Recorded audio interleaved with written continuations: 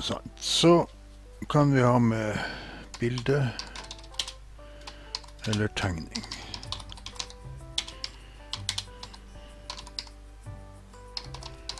Så hvis du har tatt et bilde, så kan du sette det inn og bruke det i rapporten. Jeg skal ta et bilde, og så sette det inn siden. Jeg har laget litt, en liten åpning her, og så kommer det resultater. Resultat, resultatene.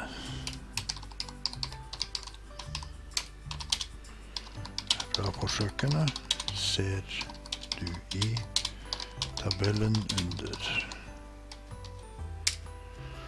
Så lager til en tabell, og da er vi på sett inn. Tabell. Så kan vi prøve å lage en ganske lang tabell.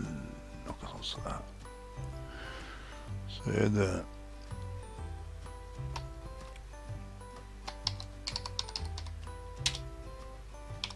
forsøk nummer én, to, tre, fire, fem, seks, syv. Så får vi skrive hva det går ut på. Eh, 50 centimeter tråd. Stor vinkel.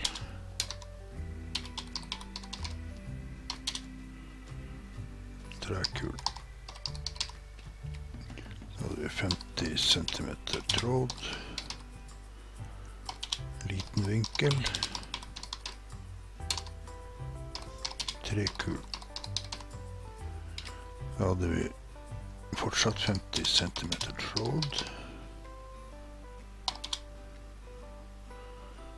Prøve stor vinkel. Bare før opp den eh, dere brukte. Og så er det jernlott.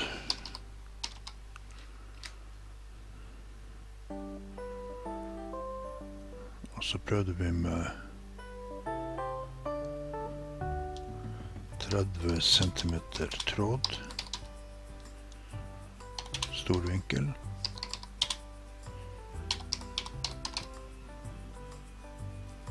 Jernlott. Og da fører man bare opp eh, hvor lang tid ti svingninger tok. Og hvor lang tid vi har regnet ut.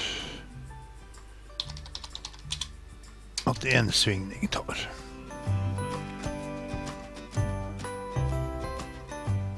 Det er jo mange måter du kan føre det her på, men det her er kanskje den som er enklest. Så trenger vi ikke flere ting her. Vi sletter bare cellene der. Så er vi over på del fire. Nei, vi, vi, først kan vi ta oppsummering.